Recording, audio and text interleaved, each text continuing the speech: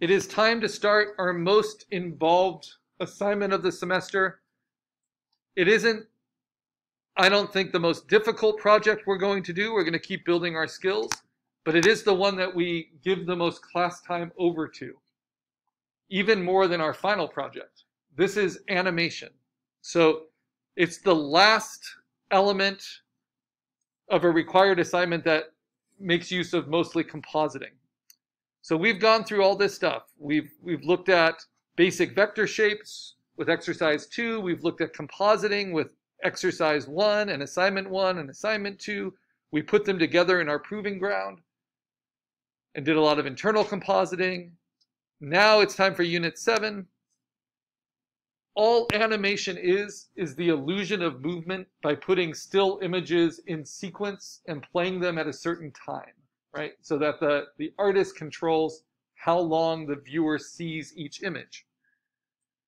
And the very basic way of understanding it is that when you want to animate something, you have to make multiple images and then play them in sequence so that you don't see it as different images anymore. You see it as one image that is changing. This is a, a perfect example of what I'm going to demonstrate this semester.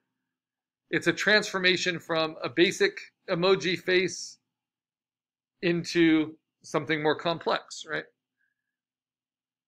You are only required to do two things for this project.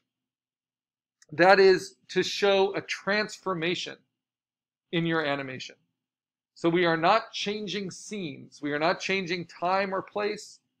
We are having something that changes from beginning, middle to end changes state, not just moves, but changes, right? So how did this change to get to this? Well, the nose grew. That's a change from beginning, middle to end. It added the hat. That's a change from beginning, middle to end. And it had all these hearts appear. That's a change from beginning, middle to end. So this is considered a transformation. It also stuck out its tongue. Sticking out its tongue alone would just be movement, right?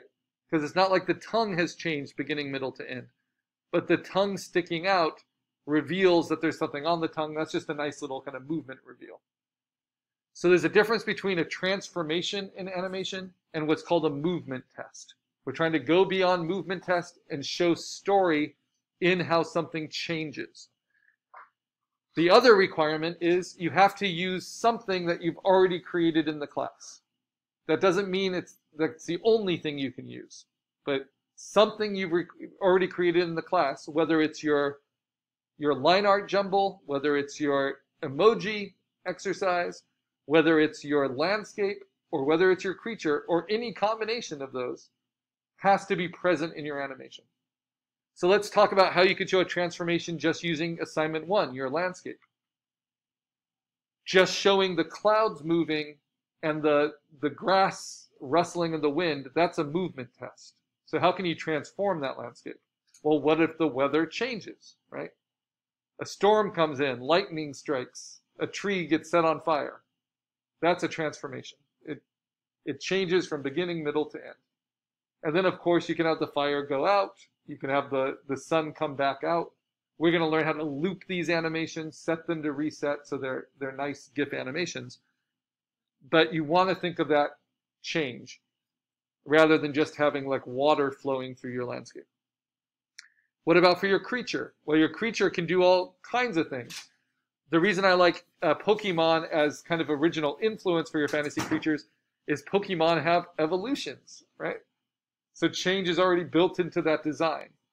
So you could have your creature change colors. You could have your creature sprout wings. You could have your creature uh, start eating its own tail and get halfway and then vomit vomit itself up and now it's a different texture. Now it's covered in slime, you know, whatever you want to do. You can also animate your creature in your landscape, which is what I, what I do every other semester as a demo. So you'll see past videos of that. But you still need to show a transformation. It's not enough, even though it's very difficult, it's not enough to just make your creature kind of walking through your landscape. I'll often have the creature like eat something and then change a different color or you want changes, transformations. The reason we're not changing scene is because we have to do this within nine steps. So one, two, three, four, five, six, seven, eight, and then one more step because we're going to design these with a storyboard. And the storyboard is going to be a three, three on three grid. That doesn't mean that our final animation will only be nine images. It means it has to be a minimum of nine images. But when we design it, we need to be able to tell the story in nine simple images. And that keeps us from being too ambitious so that we can do a good job at the animation. So let's look at some past examples. They'll hopefully make a lot more sense. So this is what a, a storyboard looks like. This is a rough storyboard. And this one animated the creature in the environment. And there's no transformation except at the beginning and at the end. This No, the creature has kind of this rock shell. And so you'll see he's going to roll in here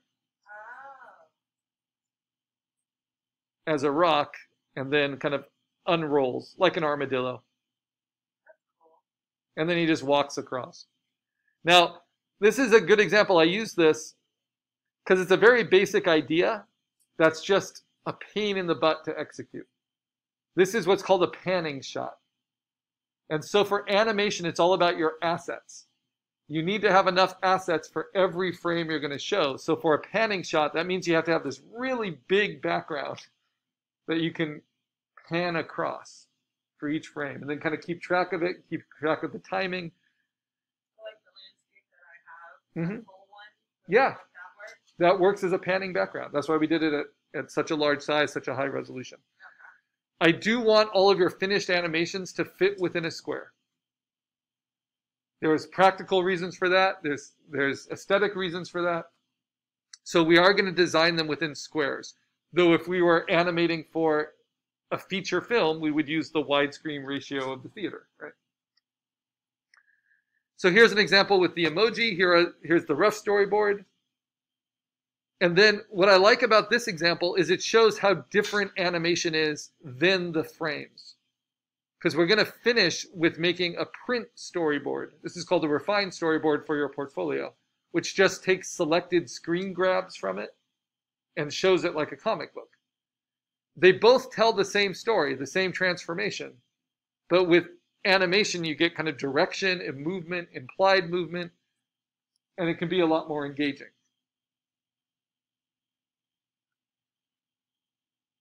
Here's one I did for the semester where we had the freeze. so, so I just froze my creature. But then, but then what's nice is you can always just reverse the frames and and and thaw thaw them out, right?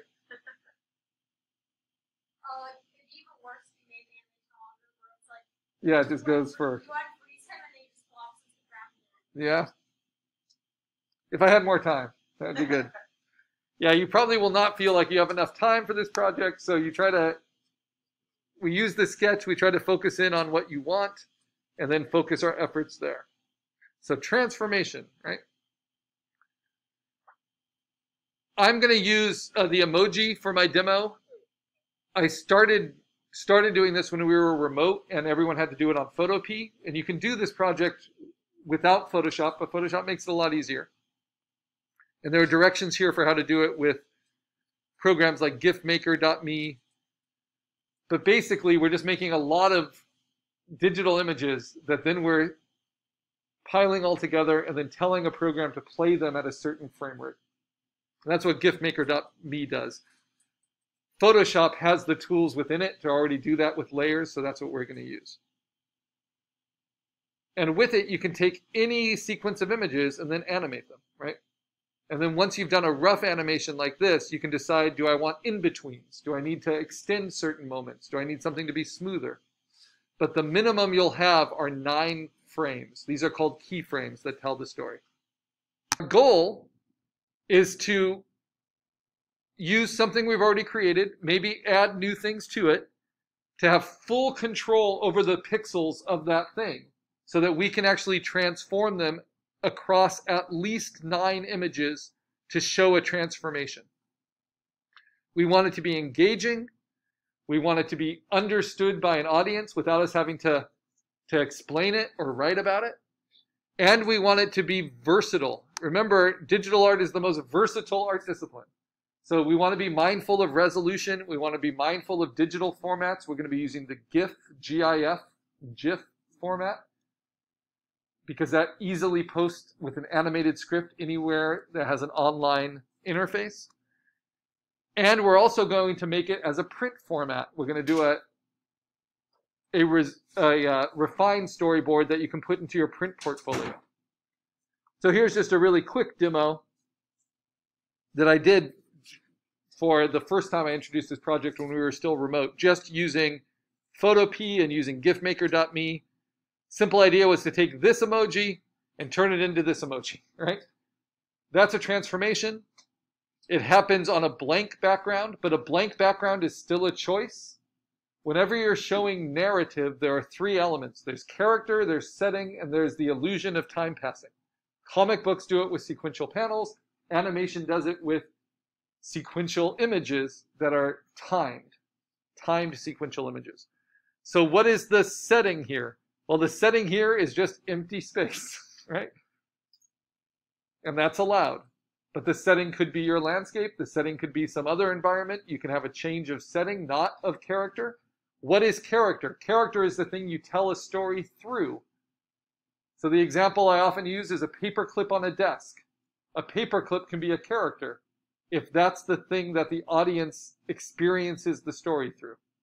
So if you show a paperclip across nine images and the paperclip always stays the exact same on the desk, but the lighting around the paperclip changes, like dust motes start to well up, if a mouse comes in and casts a shadow on the paperclip, the mouse isn't the character, it's the paperclip that's the character because it's what we experience the story through. So all narratives have a character, have a setting, and have some way of showing that time is passing. Okay.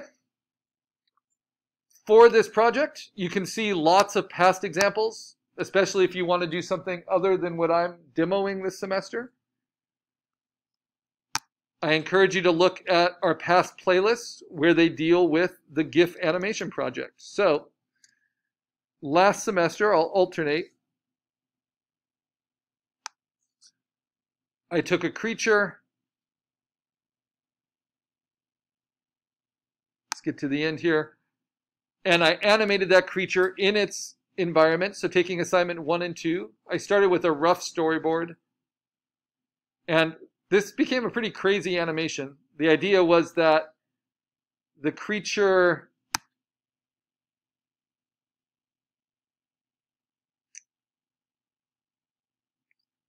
what was the idea? It kind of got petrified, like turned to stone, and then cracked open, and a smaller version of the creature kind of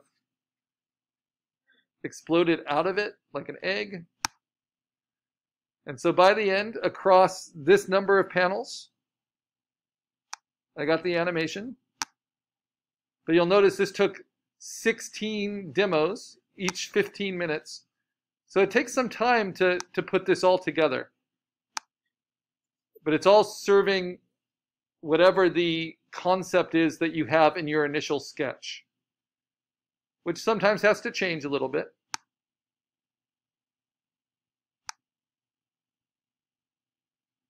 And then we put the, the final, I'm just trying to get to the place where I actually play it through. Once we finish with the animation, then we make the refined storyboard.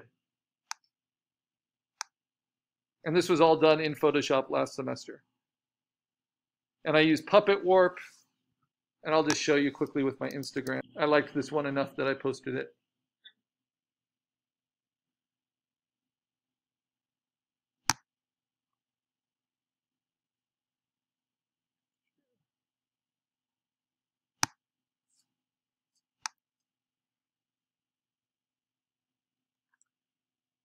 So GIF animations are perfect for web presentation, right?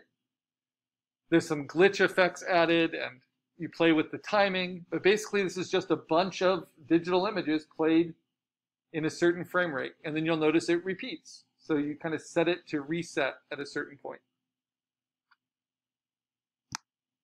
this is what the refined storyboard looked like. So once you're finished with the animation, then you choose